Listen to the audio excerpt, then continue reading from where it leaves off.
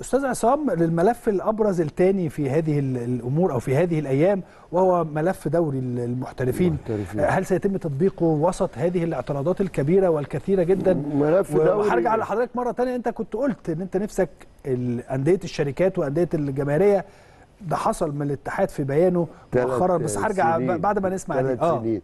آه بس آه على فكرة لازم نقول لجمهور الأهلي إنه فضفضته ده شيء جميل طبعا آه عشق يحتاجه أبناء الاهلي لاعبين وإدارات وكذا لكن الأهم إنه ياخد باله من إيه بقى بعدها على طول راح خارج لنا موضوع ده كولر عشان كولر السعيد مرة كولر ومرة. العبري فاروق ومرة خالد مرتجع على ما أتذكر في حد تاني ولا دول اللي هم الثلاثه آخر حاجة بس ده. آه. كولر بقى اللي هو القطع إيه على النكداية اللي عايزين يصدروها فطبعا فضفض مع أهلاوية زيك هم كثر صحيح. وفي العالم لكن افرح وامرح مفيش حد قدك والله ما في حد صحيح. قدك وبالتالي نروح ل- دوري المحترفين بقى هل. سيتم تطبيقه وسط هذه الاعتراضات؟ سيتم تطبيقه هو دوري المختلفين وأنا قلت لحضرتك مرة لما قالوا لهم أنتوا قولوا مش عايزين وإحنا نقول عايزين ونعمل مقص في النص تمشي كده. وراحوا مكسرين في الجمعية وهي يعني اللي بتعمل في نفسها كده ما يزعلوش مني أو أغلبية منها بتعمل كده. لما بتروح رايحة آه، علشان تتجمع فيقولوا اللي بتوع الدرجة ما بعد المحترفين هنطلع النادي منكم على طول. طب بذكاء يا عم أنت هو اللي بتديره الكورة. طب أنت هتخلي ليه ناس عايزة تصعد للمحترفين؟ إذا كان بعد ما يصرف ممكن ينزل يلعب مع اللي تحت. طب ما يقعد تحت ويبقى الأول ويصعد على طول ممتاز. أدي أول حاجة دمها خفيف. الشق الثاني إنه فعلا هيكون تحت التنفيذ لأنه ظاهره عدل. يعني نحن نحتاج فعلا إن الكرة المصرية وقتلناها بحث أنا وحضرتك مش بس كميديا حتى كان في قعداتنا دائما. إمتى يكون النموذج ده مطبق في المحروسة العظيمة دي؟ إنما في الآخر خلينا نقول إنه على الجمعيه العموميه أن تتمسك بالبصيص الأمل. كلام حضرتك وكلامي وكلام سامح وكل العاشقين لهذا الوطن إن يبقى في صناعة واقتصاد بيدور في فلك كرة القدم أتى أكله. بقى في اللي عاوز ترخيص جديد هيرعى نادي ثلاث سنين. نعم ثلاث سنين. طب بعد كده يعمل إيه؟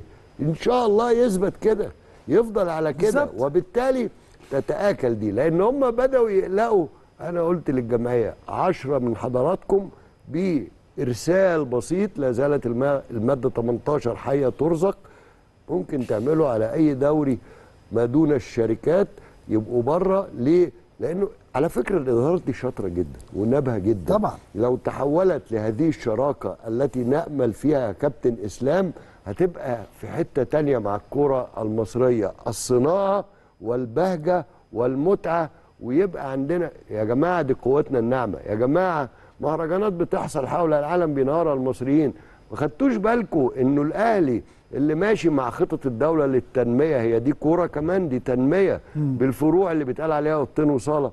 ما خدتوش بالكم إن اتعمل واحد من أهم المهرجانات إن شاء الله يدوم. في الشرق الأوسط بقى مش في بلادنا العربية بس في العالمين يا كابتن إسلام. ما خدتوش بالكم إن قوتنا الناعمة دي تحتاج هذا الدعم للمساهمة الوطنية مع مؤسسات الدولة؟ الأهلي بيلعبها كده يا جماعة. ده بيزعل الناس إنه الأهلي يظهر في مربع إنه يضيف لجزء كبير قوي من اقتصاد البلد لأنه لما حضرتك تسأل يلي برضه بترمي طوب يعني على فكرة الدولارات ومش الدولارات. طب ما تسأل كم أدخل الأهلي من دولارات لهذا الوطن؟ وفي الطريق أخرى بمشروعات ورعاة جدد للاقتصاد المصري. كم ساهم الأهلي في أماكن بإذن الله هي تحت التنمية بخطط آه، الدولة. الدوري بقى ده يستطيع لو وجه الفكر بنفس الإدارة المؤسسية كده زي النادي الأهلي ودي حاجة ما تزعلش حد. إحنا بنقول مؤسسية مش بنقول لهم خدوا فلان وعلان وت... خالص. اعملوا قربوا. نفس المؤسسية بس. محدش قال لك انه إحنا في النادي الأهلي لا أحد يتحدث عن الخطيب ربنا يديله الصحه أو المايسترو رحمة الله أو كابتن حسن حمدي وآخرين طبعا. لا أحد يتحدث عن الأسماء يتحدث عن عائلة الأهلي عن هذا البرج الذي يخرج دائما إدارات إدارات يا سادة يا كرام. اتركوا الأهلي يقدم هذا الدور وعلى اتحاد الكورة وأنا بقول لحضرتك هينفذ فعلا إنما قد تصادفه عثرات وأرجو إن الدولة بقى ممثلة في آه، المسؤولين عن الرياضة وكرة القدم ووزارة الشباب والرياضة.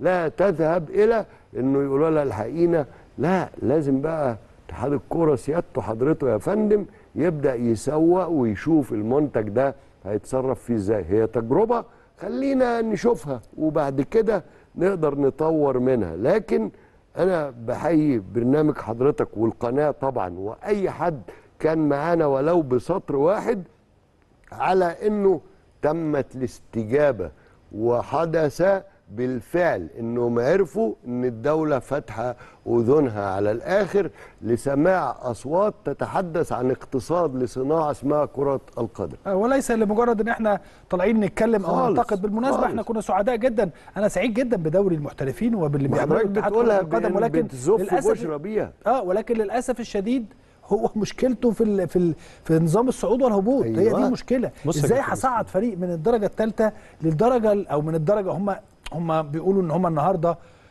وخليني أتناقش معاك يا أستاذ سامح في هذا الأمر. النهارده في البيان اللي طلع حطه لنا يا برجاوي لو سمحت. البيان اللي طلع بيقول إيه؟ أن هي شروط المسابقة. اللي هي شروط المسابقة. بيقول إنه المجموعة الأولى في القسم الثاني والمجموعة الثانية في القسم الثاني. يعني المج... نظام الصعود والهبوط موسم 24 25 أم، آه ده لا ده الثاني يا برجوات الأولاني. ده بتاع السنة الجاية. اللي بعد. ده اللي إحنا عايزينه. إن هم لا. ثلاث فرق يطلعوا وثلاث فرق ينزلوا. ده اللي إحنا عارفينه أيوه. صح؟ لكن فرق فرق فرقتين يتصعدوا من المجموعة الأولى وفرقة تصعد من المجموعه أو ثلاث فرق من المجموعة الثانية تلاعب الثالث من المجموعة الأولى علشان يطلعوا من الفرقة. يعني ده كلام برضو صعب جدا. كيف يصعد فريق من المجموعه اللي هي قواعد البطولة تكون مسابقة القسم الثاني؟ على النحو التالي أمام حضراتكم المجموعة الأولى والمجموعة الثانية. المجموعة الأولى 20 المجموعه الثانية 56 وبالتالي هو بيقول إن الاثنين يعتبروا درجة ثانية يعني. بص أنا عايز أفهم الساده المشاهدين القصة دي ونتكلم. وعجبني قوي إنك أنت بقالك كذا يوم ماسك الملف بشكل كل يوم، أنا بقالي- محترم. آه. لا بشكل محترم لأن في بعض الناس ما بتحبش تتكلم في القصة دي. أنا عايز أعرف هو مين اللي سماه دوري المحترفين؟ وليه هو اسمه دوري المحترفين؟ لا، خلاص هو دلوقتي أصبح هل- بدون هل دوري انت والبريمير ده إيه؟ هي بيقولوا هو أنت دلوقتي. خلاص ما دي الغريبه برضو يا أستاذ عصام. أنت داخل إنك أنت تطبق دوري المحترفين. على أي أساس هو اسمه دوري المحترفين؟ هل هو بيضم أندية بتمتلك من الإمكانيات المادية؟ سامح هو أنا آسف هرد عليك بسرعة. اتفضل. هو خلاص هو ما اسموش دوري المحترفين. هو اسمه دوري المجموعة الأولى. آه دوري ألف. مش كلامي. مجموعة ألف. مجموعة ألف. مجموعة ألف. هم اللي سموه كده. خلاص. اسموش الحقيقة. دوري المحترفين. دي الحقيقة. هو اسمه دلوقتي دوري المجموعة ألف. خلاص خلينا نقف معاهم أو الأولى. و و ونستغنى عن كلمة دوري المحترفين لكن لازم نعرف لما انت حبيت تسميه دوري المحترفين انت فين الإمكانيات المادية صحيح. ال- اللي المفترض تكون بالملايين مش بالآلاف؟ لهذه الأندية كي تصرف على المباريات وعلى. تعاقدات اللاعبين وعلى المعسكرات وعلى إقامة المباريات صح. الملاعب وقصص. فين هي الملاعب اللي متوفرة لهذه الأندية اللي كلنا كل عارفين اللي ملعب؟ بيحصل تحت إيه. فين طاقم التحكيم اللي هيكون متواجد على مستوى عالي في دوري المحترفين عشان يوصل لهذه المرحلة من الاحترافية؟ أربعة. أنت ممكن تعد كتير. فين تقنية الفار؟ هل موجود تقنية فار مثلا. في, الدوري المحترفين؟ يعني. بس. انت فمفيش حاجة عايز اسمها فيران. كتير يا سامي. فيران؟ بص أنا والله سألت عايز فيران شوف. أنا سألت كام سؤال. آه. أنا أتحدى اتحاد الكره يكون عنده إجابة على سؤال واحد من اللي قلته. الحاجة الثانية بقى غير كده كمان. دوري المحترفين دلوقتي أنت عشان تطبق نظام الصعود وتتكلم على الصعود السؤال اللي ملوش إجابة.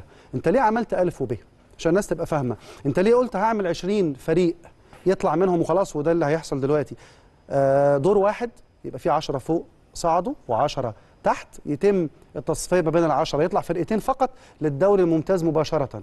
العشرة اللي تحت ستة منهم هينزلوا لب خلينا نقول لب مش لالف ما إحنا في كيمياء إحنا في حصة كيمياء. إحنا مش قاعدين مع الكابتن إسلام الشاطر وبنتكلم لا لا لا إحنا لا إحنا في حصة كيمياء. إحنا في مدرستنا إحنا ثلاثة أنا- دي مدرسة اتحاد الكورة الجديدة. اللي إحنا بنحاول نشوف آه، آه، آه، إيه خطة التطوير اللي عايزين يخرجوا بيها علينا. بصراحة يعني أنا